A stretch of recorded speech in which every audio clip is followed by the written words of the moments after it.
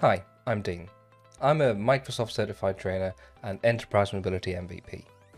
I've been working with endpoint management for over 15 years now, and in this course, I'm going to help you get started with Intune, whether that be from the very basics of setting up your own tenant, or some of the more advanced and complex topics such as autopilot or conditional access. First, let's talk about what Microsoft Endpoint Manager is and why I called it Intune. So, MEM, or Microsoft Endpoint Manager, is an umbrella product, and within it there are two Microsoft products that support endpoint management. So we have Configuration Manager and Intune. So Configuration Manager is an on-premise solution that allows the management of Windows clients and servers, as well as Unix and MacOS. It's based on an agent being installed on those devices, and it's used to be known as System Center Configuration Manager. Now, it's known as Microsoft Endpoint Manager Configuration Manager.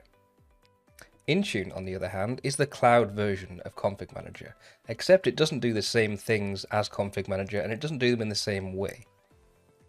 It didn't even really start off being the cloud version of Config Manager either. It was initially developed by a completely different team in Microsoft for a completely different purpose to what Configuration Manager was designed for. Intune used to be called Windows Intune, now, it's a subproduct of Microsoft Endpoint Manager, and it's just called Intune. A couple of years ago, Microsoft brought together the teams responsible for Configuration Manager and Intune under the same umbrella, so it made sense for them to put the products themselves under that same umbrella too. Anyway, this course is about Intune, so let's stick with that. In the next video, what we're going to do is create our first Intune tenant.